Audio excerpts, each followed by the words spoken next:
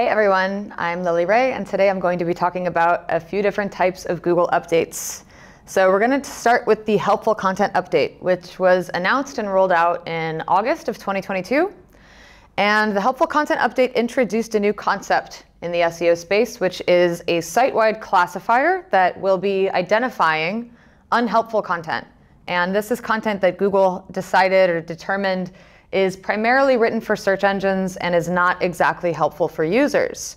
This new site-wide classifier that they're using with the helpful content update will be applied to sites that Google believes is doing this type of thing at scale. So if the majority of the content on the website is considered unhelpful, it's written primarily for search engines and not for users, the helpful content update classifier can be applied to those sites which can have the impact of affecting the rankings for the whole site. So it's not just one or two pages, it's potentially the entire site, including even if the website has some content that's actually helpful.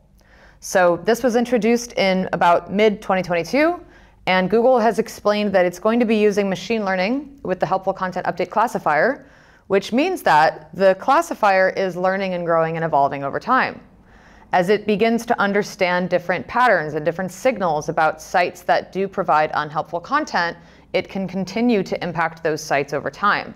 So while they told us the update rolled out in August and it lasted about two weeks and it concluded, we also know that Google will likely be leveraging the helpful content update classifier all the time or in future updates.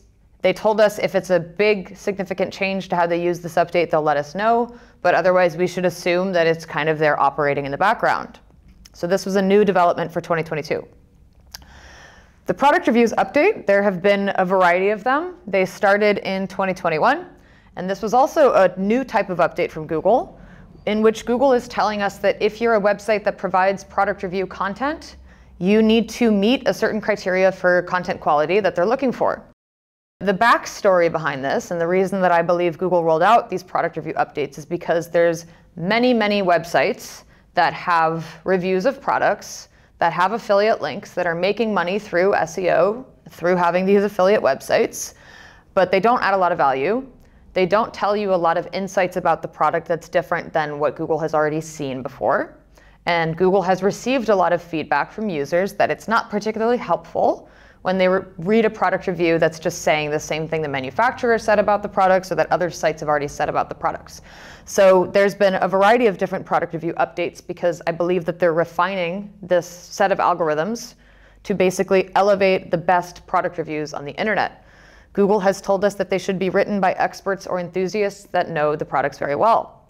So people that are obsessed with tech devices, you know, like smartwatches or TVs or whatever, they need to prove that they've spent a lot of time analyzing these products, that they're, they have an obsession with it. Maybe they studied it. Maybe they, they have pictures of themselves using it. Anything that gives the user and search engines evidence that they've actually spent a lot of time with the product. This is another very important concept from these updates. Google has spe specifically said, if you're providing product reviews, we need evidence. We need photos of you using the product. We need videos of you using it. We need anything that shows us that you're not just rehashing what everybody else has already said online. We need proof that you've actually spent the time doing it. So a lot of sites are starting to adapt their product review strategy to meet Google's expectations of what makes a good product review. As a result of this, almost every product review update that rolls out, you'll see a lot of volatility in the search results because some product review sites are winning from these updates, some are losing. And then there's other sites that are being impacted by these ranking changes, such as e-commerce websites, who might see gains or losses in rankings because maybe the product review site that Google was previously ranking was affected by the update, so the e-commerce site wins out a little bit more. This has been a big uh, change for a lot of sites in this category. We've seen a lot of ranking volatility with product review sites. The third type of update that we're all probably very familiar with and has existed for a very long time are Google's core updates. These are nothing new, but the nature of them changes over time. So they pretty much happen quarterly. That's, that's not like 100% true for every year, but it's pretty much every few months that Google will, will roll out a big core update. They started to basically just name them after the month. So you might have like the September 22 core update, for example. And what makes these tricky is that Google doesn't give us a lot of specificity each time they're rolled out about what changed. they almost always reference back to the same article that says what site owners should know about Google Core Updates. That article gives 25 questions or so that the, the, the reader or the content creator should read with regard to what makes a good page, a good website. Does the website demonstrate EAT? Does the website have good quality content? And these are all the questions that you should consider if you've been affected by core updates. Even if you haven't been affected, you should read them because it positions you well to, to do well when the next core update is rolled out. Another concept that a lot of people don't understand about core updates is that they often operate on a site-wide level, similar to the helpful content update, which means if Google has determined a large-scale pattern of either great quality content or not good quality content, or perhaps a lack of EAT, expertise, authority, and trust in certain areas, a core update can impact the rankings of almost all your content at scale. So that's not necessarily to say that there's one individual article that dro dropped in rankings because that article is bad you could actually just be impacted by the core update as a whole because Google decided that your site in general shouldn't be ranking as well as it is. So people don't always understand that core updates operate in a site-wide fashion. Content quality is extremely important during core updates. So if you read Google's questions about the core update, almost all of them tie back to how much is this website meeting the expectations of users? How much does the content offer something unique that I couldn't get from other people's websites? Is the spelling good? Is the grammar good? Is the usability good? All of this points back to quality.